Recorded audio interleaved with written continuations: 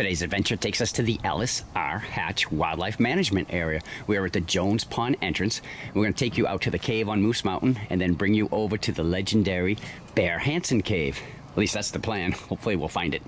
And joining us today is the greatest adventure team ever. Our friends Dave, Tina, and Barry are joining us. Of course, my lovely wife, Cheryl, and Miss Brandy, the Wonder Mutt.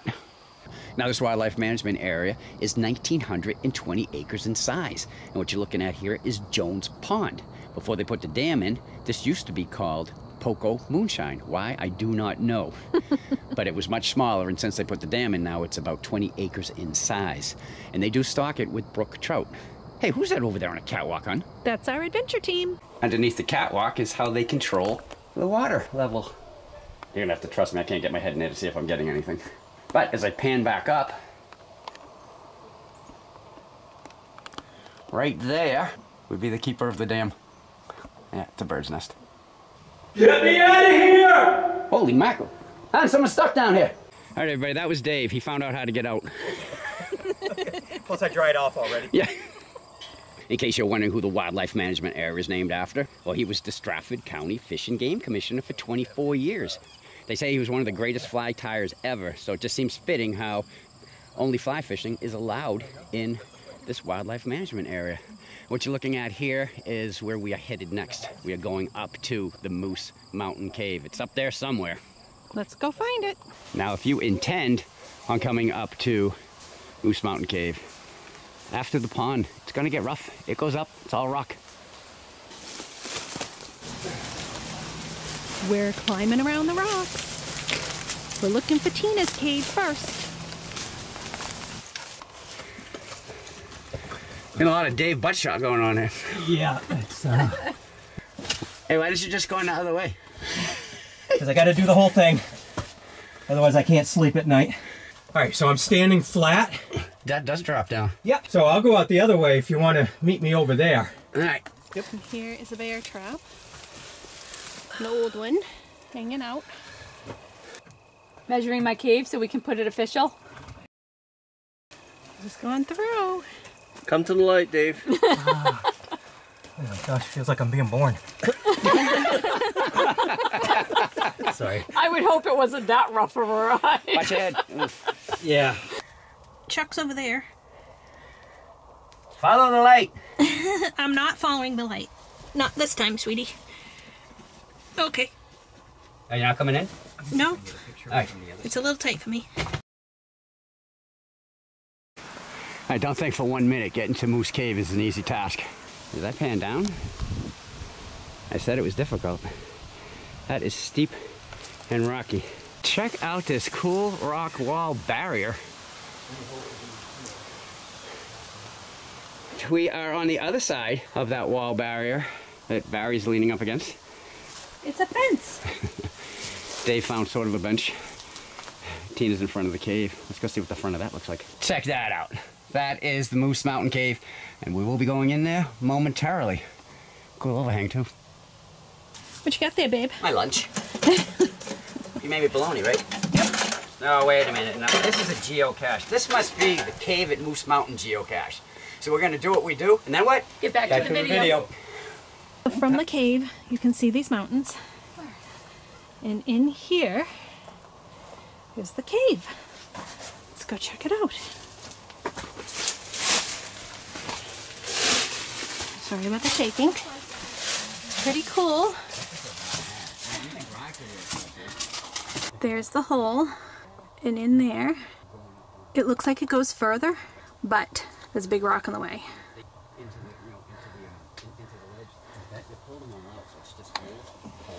And that's what it looks like on the way out. Tina's exploring. She's up on the ledge. There is a small room off to the right where Dave is headed now. Hey, you look like whack-a-mole again. Right. Let's move in for a closer look.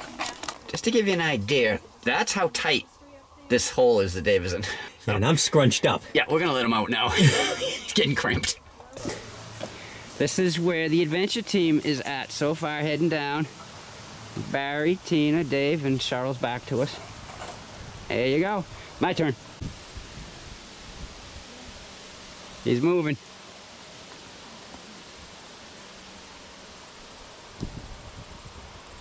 What do you want me to do? Kick the bucket. Okay. oh, that hurt. All right, so we're on the trail now, headed over to Mountain Pond or Lake, depending where you do your research. We are in search of Bear Hanson's cave. Tobias Hanson built his home out there, and he lived in that cave until his home was built. So we're gonna see if we can find it today. Welcome to Mountain Lake. This used to be a stream, then back in the early 1900s, a dam was built, and it created the lake. And, like Jones Pond, it's stocked with brook trout. Now, along the lake back in the day was the Mountain Lake Camp, complete with tennis courts. The picture you're looking at is from around 1910, and if you come in from the Brookfield side, you'll see it at the kiosk. So let's go in the woods and see if we can find any remains. We're trying to find remains of the Mountain Lake Camp. Just a rusty pole right here. We are looking around to see if we can find anything else. There's a fridge next to the stove. They found a railing. Pretty cool. That's a little indescribable. Some kind of washer or something? Not really sure. So there was brick here. But if you look over here, Barry uncovered under the pine needles, the corner here is brick. So that could have been a fireplace or chimney. Right now it's just a brandy perch. We found the foundations. This is one of two.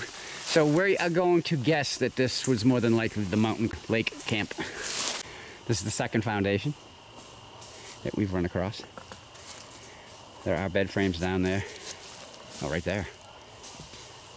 Now this is interesting. Where Dave's coming out, you saw those rocks that just piled on top of each other. As we come over here though, you can see that cement was used on these rocks to make a foundation, and perfect example is right there. Okay, everyone, I believe we're seeing what Tobias Hanson saw in the late 1700s when he walked from the Portsmouth Dover area seeking farmland to settle on and decided to spend the night in the cave up here. And after a good night's sleep, Tobias decided to stay in the area. He ended up buying 500 acres from the government to build his homestead. And he stayed in the cave until he had built his home. Now, look, it may not look like much of a cave, but according to our team expert, Dave the Cave Guy, because of its historical significance, in New Hampshire, it is considered an official cave. A side note for those of you who watch New Hampshire Chronicle have you ever heard of Fritz Wetherbee? Supposedly, Tobias is his uncle. Well, that's pretty cool. And how about this cave? How come it's called Bear Hanson Cave? Well, there's two legends that explain that. The first one states that when Tobias got here, there was already a bear living up here, and he didn't want Tobias here, so they fought, and the bear lost. The second legend says after Tobias had moved in, he heard noise one night. He went out to investigate, and it was a bear. They fought, and, well, the bear lost. But whichever legend is true, they both end the same way because it says that Tobias had roast bear that night for dinner. And his legend goes on and on as of fighting bears, and they always lose. After his house was built, he proposed to Hannah Meader. They had 11 children. 11 children. Wow, I guess they had to do something to stay warm on those cold nights here in New England, huh? So this is the engineers figuring out how Tobias built. 13, so if you're talking... 15. Yeah. Yeah, two The feet roof. over. Yeah, especially if you went to like to this... Yeah, because that's what I'm imagining they did. All right, so what we're imagining he did, we have no way of knowing. Tobias cut 15 foot birch saplings, put them between two rocks. So we're figuring this rock and the top of this rock, because that would give him this whole area also to live in. Well, he built his house 70 rods away. We're going to try to go find that too.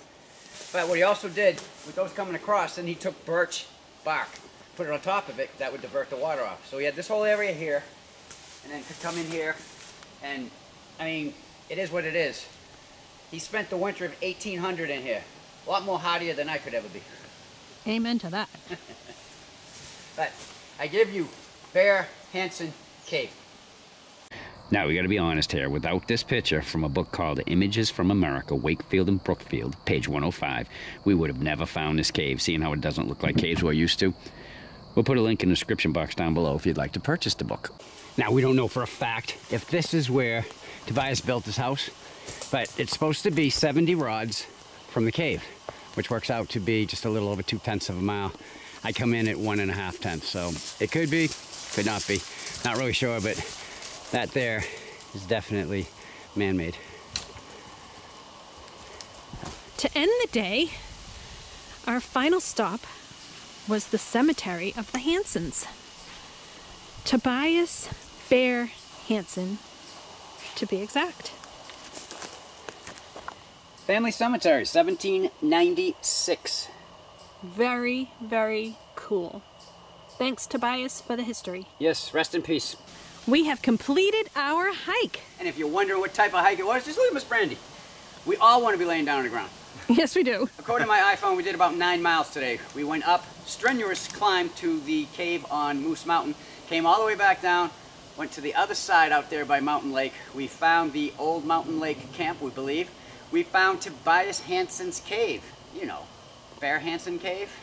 And icing on the cake, we found the Hanson Cemetery and Tobias's final resting spot, and we do wish him to rest in peace.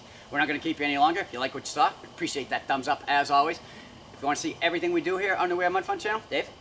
Hit that subscribe button right down there. And if you want to be notified of future videos, click the bell. Or you can just leave a comment. Barry, where would they do that? Uh, right down below us. If you got nothing to say, no questions to ask, you can just say hi. Why, Tina? We'll say hi back. We always do. Because until our next video, the The end.